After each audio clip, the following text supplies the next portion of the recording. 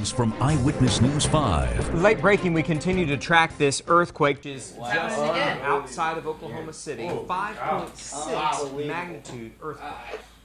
All right, guys, back to business. Let's get this party started. All right, all right. Um, the end of the season, you know, it, we did good this year, but uh, whoa, whoa, whoa, whoa, whoa, whoa, whoa. Hornsby, will you cut out the shake weight stuff? Hornsby, we're in a meeting right now. I'm not saying you can't work out. You're shaking the whole state right now.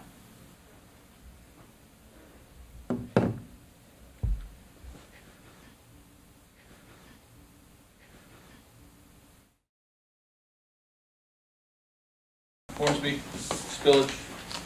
Thank you, sir. There you go. Yeah. We're having